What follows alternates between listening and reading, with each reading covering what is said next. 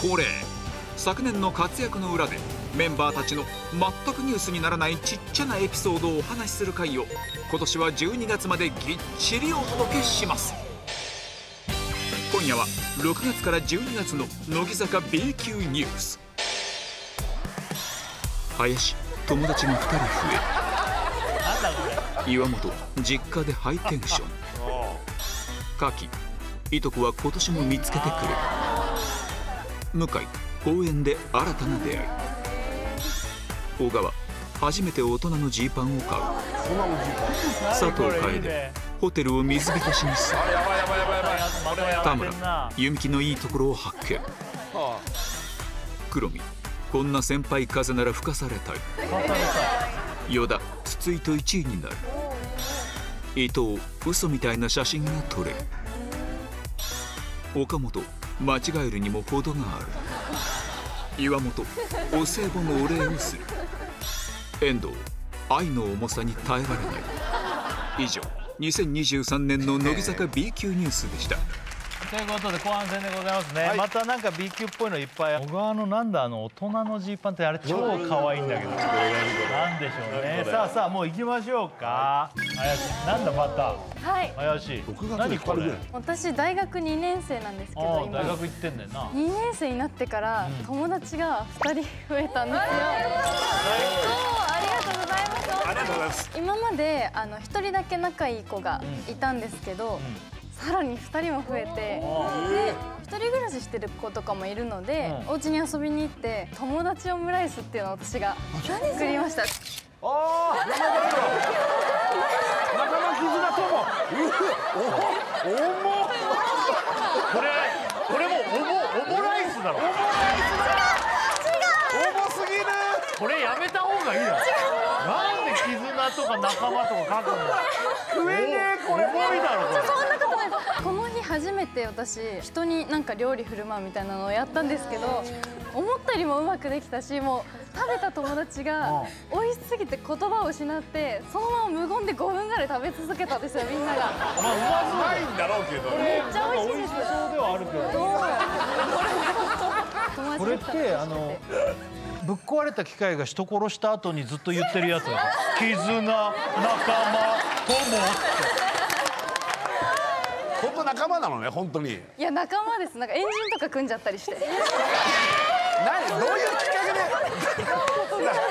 嬉しすぎて本当に人生に彩りが生まれたんですよ。そうだよな。そういうことよね。これっていう話嘘じゃないよな。嘘じゃない。落語もないたらいいな、はい。やりたい私も。だよこ黒見は？友達できてんの？いっぱいいますよぱ。えそれってなんでなんか喋るわけ？いや本当にみんな寄ってきてくれるから。れ本当かよ。ねよかったな林。でも写真はす撮ってくれるのは嬉しいけど怖かったけどね。いや全然依田のあの旅館のやつよりもこっちの方が怖いねはっきり映ってた、はっきりと怖い。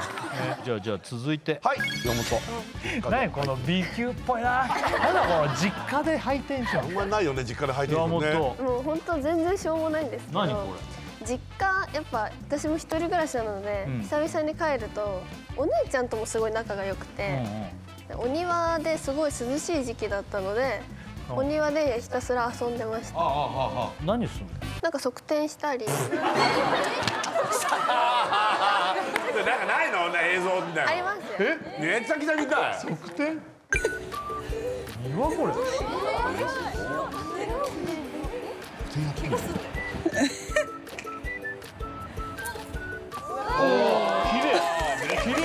麗な側転いいな。な綺麗な側転だし。えげつない家。家？そうだよ。昔さ山本んちの写真さなんか池すごいがあったよね。豊かなお庭なんですけど。なんか変わったねお庭が。あ建て替えしまして。あ芝のシートみたいなの引いてんだ。今へ時のお家になったんですけどえ昔からこうテンション上がると側転しちゃって。意外とそういう面あんの？本当はもっと実家に帰るともう本当にすごいんですよ。ふざけ倒しちゃう人なんですよ。もう笑ってくれるのが嬉しくてもうあ笑わせたくてしょうがなくてあもうずっと朝から変顔とかしちゃうんですよ。ああなるほど。いい家族だあいいですね。ないいよ。はい、じゃあ続きましていきましょう。さっきこれはもうあれ？毎年のあの子？そうです。毎年のえっとあの子の弟くんです。お。お弟？2023年。これ同じポーズしてるんです私。本当だ。えこれはミッキーに振ってんのかな？すげえなこの人。しかもいっぱい見てんじゃん。そうなんです。なんか番組とかに出るたんびに送ってくれて見つけてるよっていうの。でその生放送とか出る前にあの応援動画も送ってくれて。でそれもちょっとあるんですけど。お見たい。はい。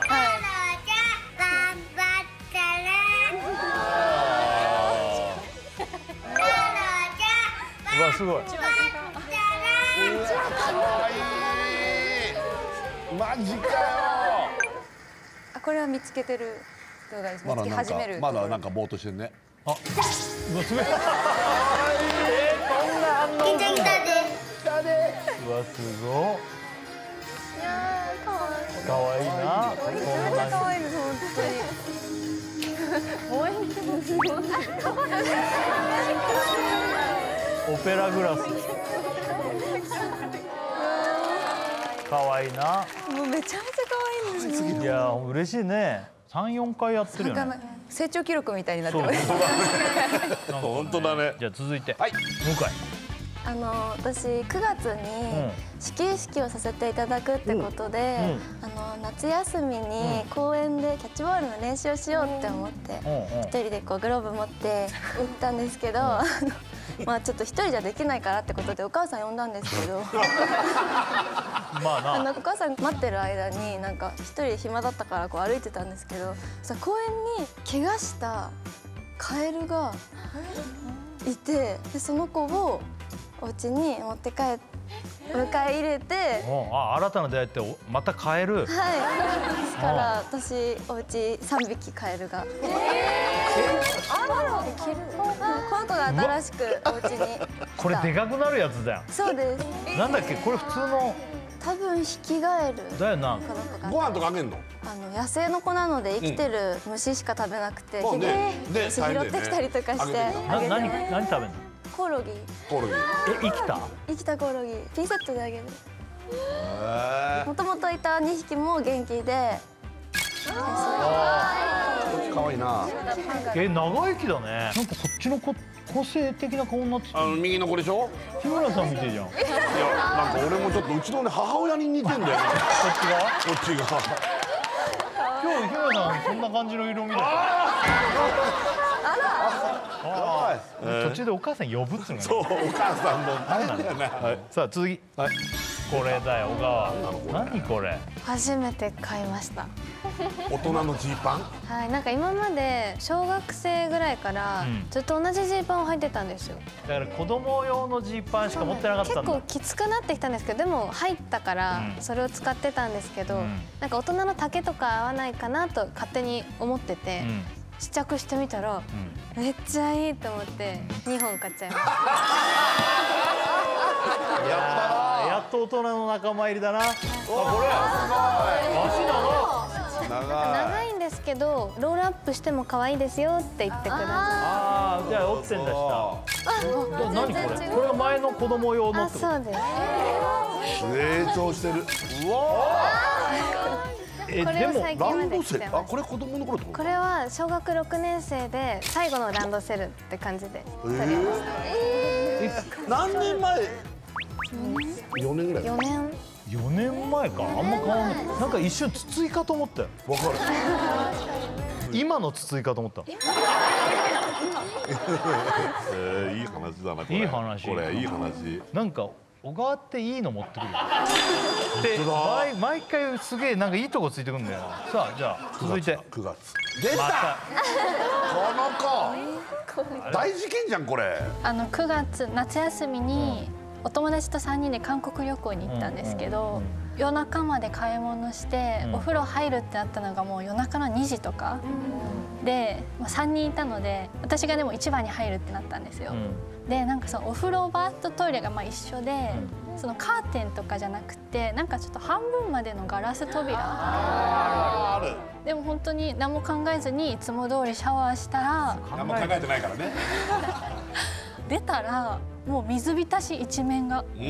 でもう行き場のない水がもうそこら中にえあって。でもう本当に置いてあったタオルじゃ対処しきれなくって。ー、そんなに？もう玄関の方まで。えー、それやばいじゃいやでも本当に深夜の2時で。どうしたの？その後。追加でタオルもらって。もらって。みんなで拭いて。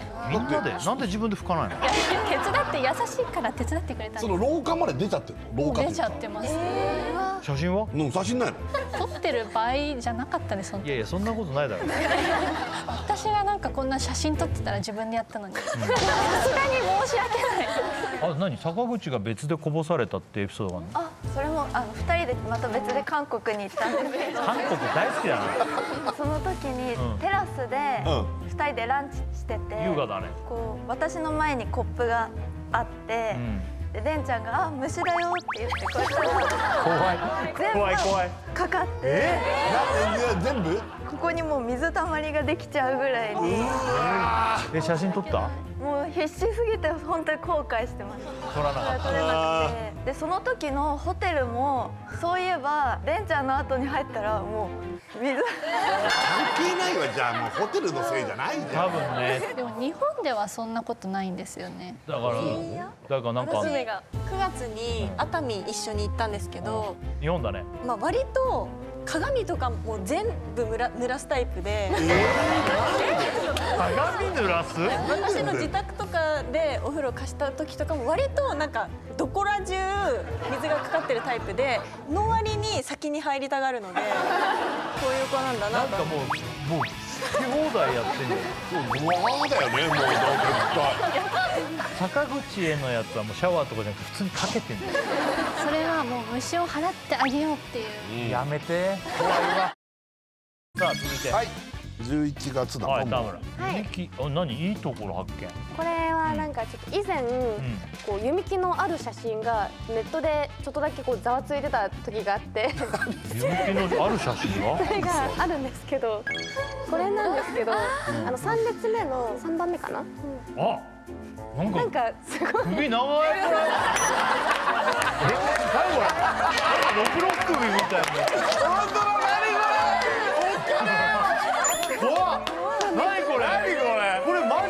長すぎない？でこれを見てざわつくねこれは。ざわついてて私も自分のカメラロールをこう見てたら、ん。私のカメラロールにも首の長い弓木がいてそれも写真あるんですけど。うわー長い確かに長いわ。どっちが前に出てるのが首？あれてあれてあれて。あれて。あれで首長い確かに。いや弓木は首長いよな綺麗なのか。うで首も長いし、まあ、今言ったように手もめちゃめちゃ長くて手も長いんだ。ん長いね。なんか変だなって思って。自撮りもいらないもんねだってね。でもなんかすごいやっぱりスタイルがいいんだなっていうのを改めて思っスタイルが長ていというかでも有吉さんにも、あのボーリングのピンみたいって言われてそれで気づきましたね。日村さんとかね。俺ないんだよだから V ネック着ればいいんだよ V ネックでいけんの？V ネックだとああいう風になるんだよそっか丸首だからダメってこと？そうそう。だか逆弓木じゃんか日村さん。逆弓木。で逆日村だから。そうなんだ。光栄です。そうなんです。面白かったね。面白い。びっくりした。さあ続いてお黒。吹かされたいって何？ちょうど初選抜のうん。オンエアがあった後に水木さんがちょうどご飯誘ってくださって。それで一緒にご飯行った時にあの初選抜おめでとうプレートを出してくださって。あらこういうなんか特別なデザートを出してくださっておなんかありがありがとうございます。みたいな言ったらクロミが5期生1周年プレートを出したのを見て出そうと思ったって話をしてくださったのであこれからもそれを後輩にやりたいなって思いー山下こうやってやってあげたんだ。いやそうなんですよ。やっぱ黒見といえばプレートってもうあの印象は強かったよな。そうなんですよね。なんか私の世界へようこそみたいな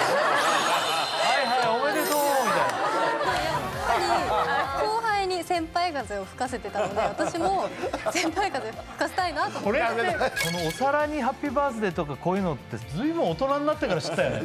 大学生とかなのにさこれを後輩にやるってすごくない？でもこれを自分でやられたわけだ。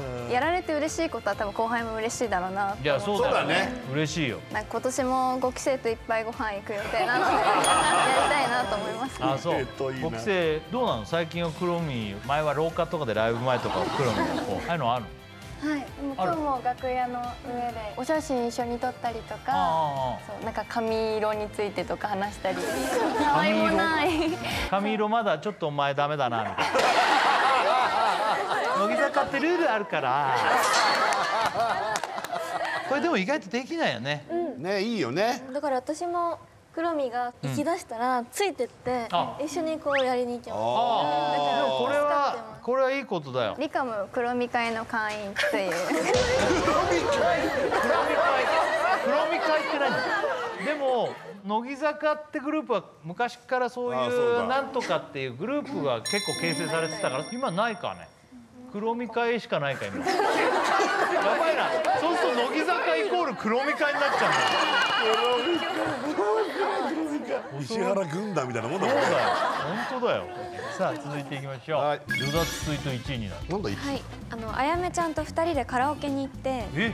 あの最初の1曲何歌う？ってなって2人でのユニット曲があまあるんですで「ザブンザザブン」っていう曲をあ1曲目に歌ってうで点数が出た時に全国2位だったんですよ。負けたんだつまり。はい。そんなのあんの？悔しくて。もう本物が負けらんないね、はい、でもう声鳴らしていっぱい何時間か歌った後に出る前にもう一回挑戦しようって言ってで1位取りました。なるほどそういうこそう写真も証拠写真も。本物がやってんだ。ね92点なんだな。でもユニット自分たちのやつを歌うえすごい。今だから挑戦者求むっていういやめちゃくちゃ来るでしょこれ。これ何のタイミングで行ったの一緒にかき氷食べに行ってあでその後一緒の仕事だったけど数時間まだあるねって言ってカラオケに行って。でもあやめちゃん家族と以外カラオケ行ったことがなかったらしくて。初めて人と行って。それが先輩だったのですっごい緊張しちゃって。でもちゃんとあのタンバリンとマラカスも持ってカラオケしました今度これなら1位取れます選手権やる？自分たちの曲で、これやってほしい。いいね。うん、さあはい続いて、はい次。何？か嘘みたいな写真。あの山下とあのお休みの日が一緒かぶったので浅草に2人で食べ歩きに行こうっていう話をして射的やったりとか神社にこうお参りしたりとか。ロケみたいなことやってんのあそうですね。したんですけど人力車のお兄さんに声をかけられてはいはい「お姉さんたちどうですか?」って言われて私たちも結構浅草満喫して浅草ハイみたいになっててああ浅草「いちょいちょ」みたいな感じで人力車に乗ったんですけどいいじゃん。ああ乗った。でお兄さんがいろんなとこ連れてってくださっうんうん。てその度に写真をうん。撮ってくださるんですけどあよめっちゃいい写真じゃんこれ。えなんかさちょっとむちゃくちゃなんかめちゃくちゃ綺麗なんですよたいなんか何これ。そうなんですよ超いい表情してんじゃん2人ともめちゃくちゃ良くてこちらなんですけどナイスリーそう嘘みたいな。しかもそのお兄さんが本物のカメラマンさんみたいにあちょっとこういう表情でとかこっち指してみてとかこっち見てみてとか言ってくださってで私たちもまあこういう仕事してるんでまあプロだもんねそこプロはとプロの戦いみたいになってやりやいい写真じゃん。いや本当になんかフリーペーパーみたいな。本当だね。とんでもないこれ。え気づかれなかったここれの気づかれてないですれね。マジで？泥沼の三角関係ついに決着？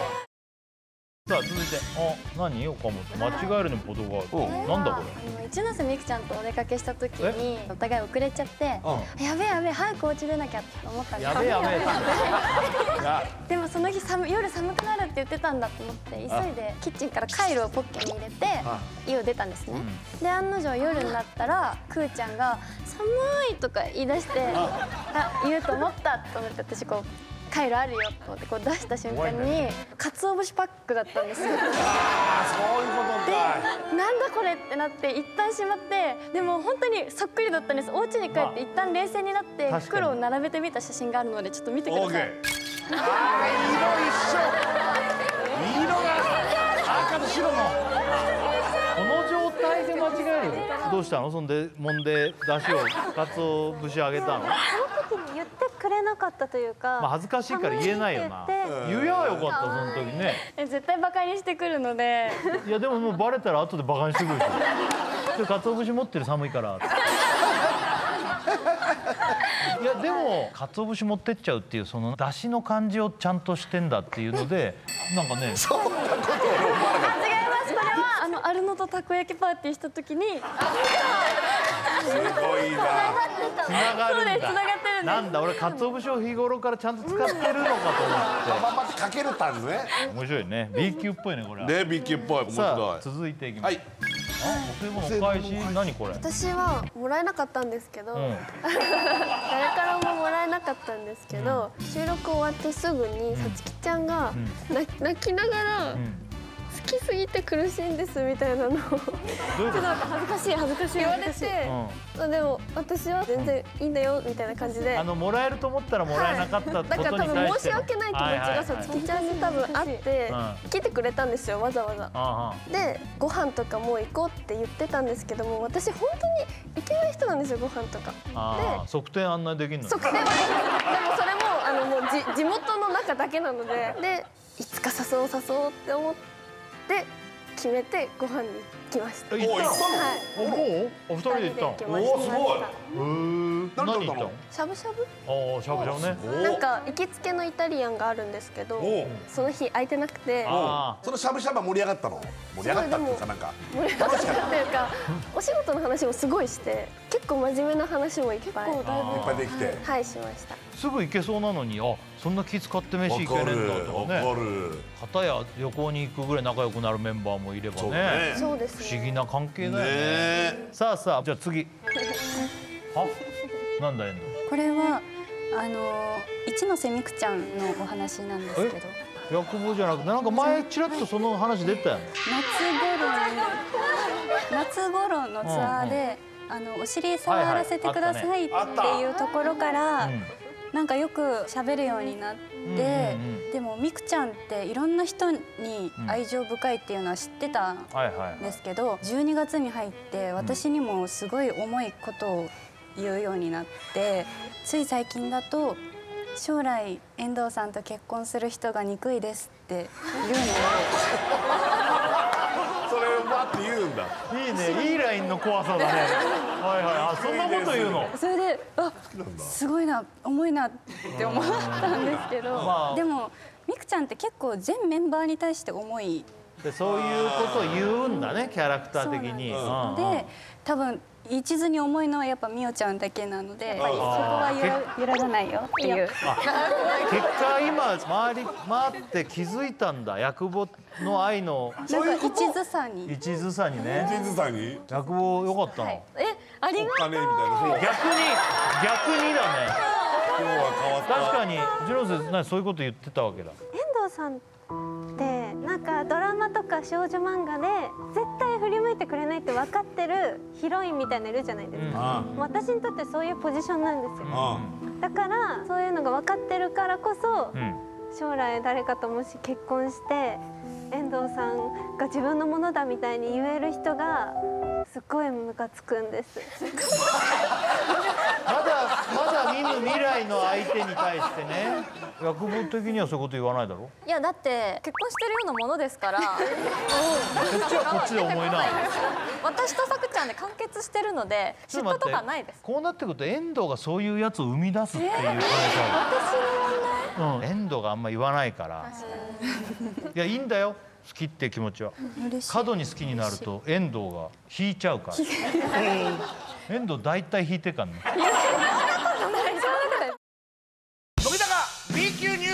2023は林の友達が2人。増えるオムライスあオムライスの写真オムライスの写真ほらよかったじゃん嬉しいです友達も大喜びだと思います仲間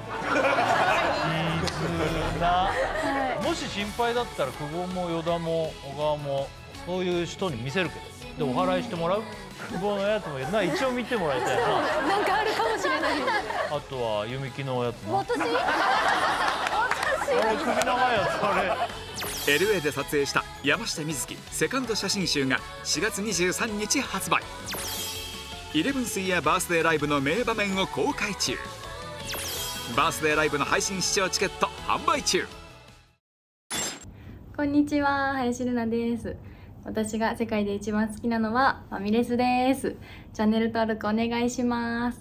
バイバーイ。